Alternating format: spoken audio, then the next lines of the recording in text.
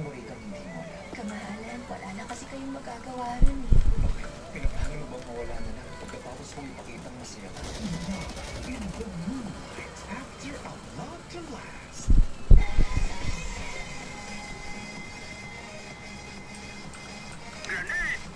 Nagbabalik po ang umagang kay ganda, mga kapamilya. Mas mabilis pong mapani sa mga pagkain niluluto o binibili natin ngayong mainit po ang panahon na posibleng makalason sa mga kakain ito. Noong nakaraang taon, umabot sa 4,317 ang bilang ng mga na-food poison at labing walo po dito ang namatay. Mahigit isang libo rito ay nangyari noong tag-init o summer. At mula pa lamang itong Enero hanggang Marso, alam niyo ilan po ang na-poison? 1,035 35 na agad. At siyang dito ang namatay. Kaya naman mo, mahalaga pong impormasyon ito ha para bigyan po tayo ng dagdag kaalaman tungkol sa food poisoning at kung paano nga ba ito maiiwasan. Narito po ang ating suki na si Dr. Ray Salinel, Infectious Diseases Specialist. O so, Doc, ano nga ba ang dahilan? Bakit nagkakaroon ng food poisoning at bakit gustong gusto kapag ganitong mainit ang panahon? Parang dali mapaalis ang mga Hindi, essential po. Salamat po. Alam mo nga, salamat ako pa. Ano po, well, lahat ng pagkain po talaga, pwede lang po tumagalang nila 1 to 2 days. Okay. 1 to 2 days. Tumatagal sa lalo pag ngayon,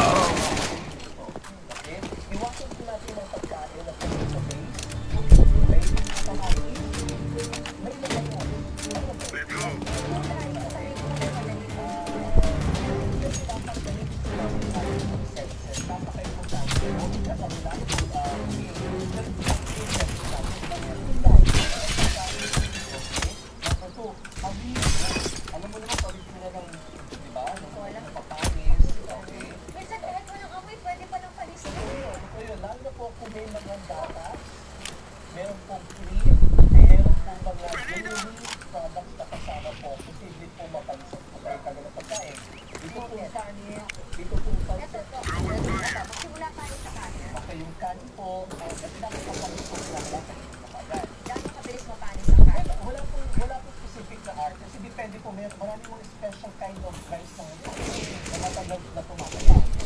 So depende po yan, kung yung uh, pinagsaingan mo ay nagkaroon ng moisture, hindi mo papanis siya. Diba? Diba? Okay, kung mga baboy at saka kung kung bata, tatagalin ng 1 to 2 days na hilaw, pwede ito 4 days refrigerator, freezer. Now, ito, ano kung may tomato, may, may, may, may tomato base, may kamatis, may dairy, may, milk, may kata, magaling na panis. Okay, noted. Okay, ito, ito na po, Right, bang, o tayo, ah, mas, mas tumatagal po ang pagkain, mas medyo mas po ang food poisoning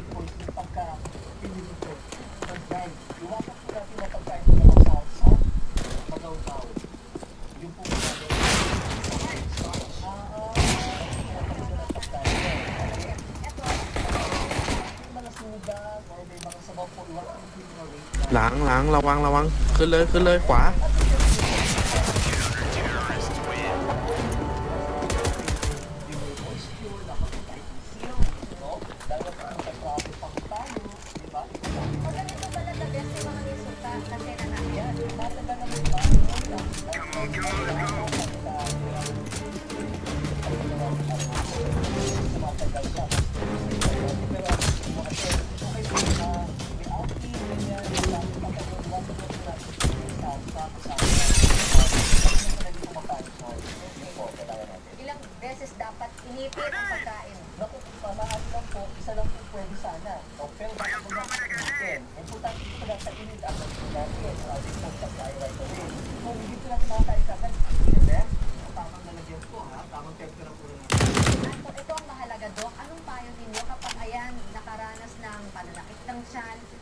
poisoning na ano ang gagawin? Pagpupagan sa pinakamang malapit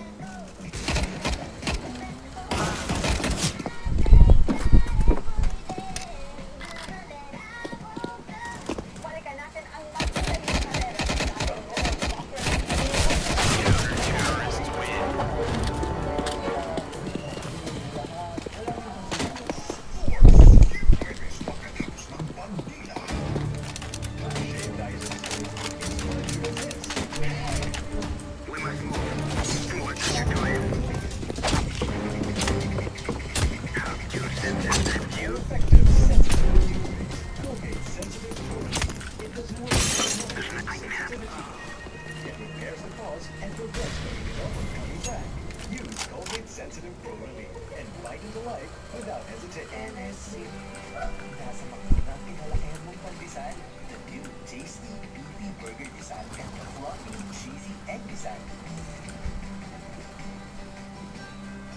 39 pesos each. For children 1 to 3 years old. Available in a 2 kilogram pack.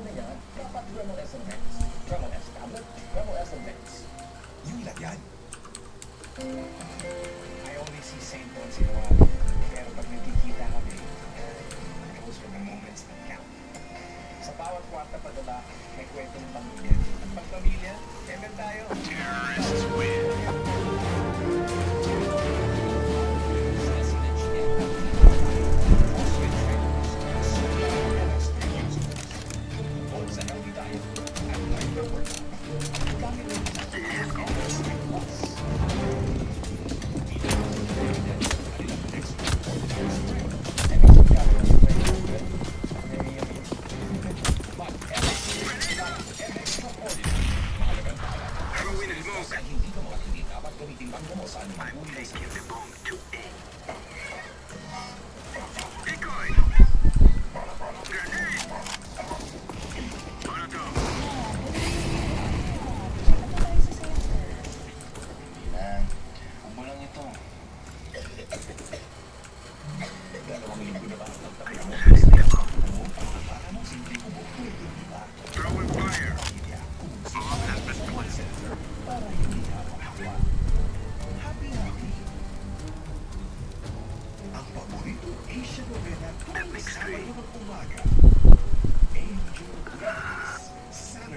7.30 a.m.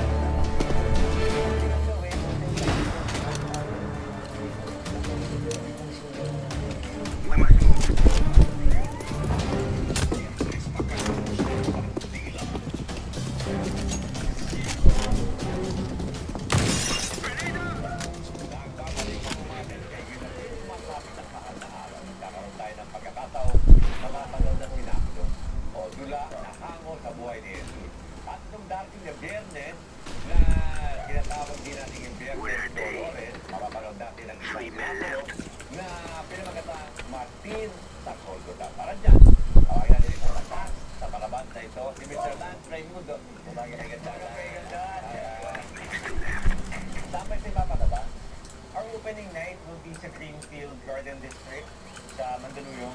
It's going to be 7 p.m. April 7th. and libre siya. It's, uh, uh, you just walk in. Uh, oh. yeah. Ano ba ito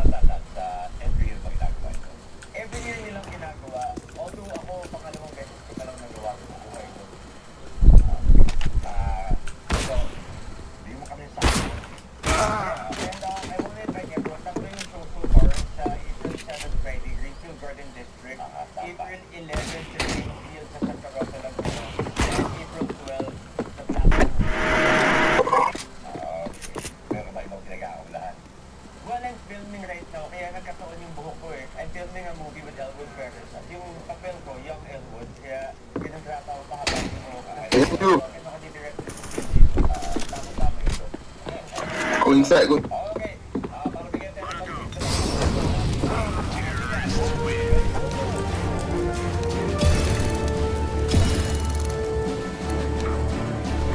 Chỉ cho luôn già lời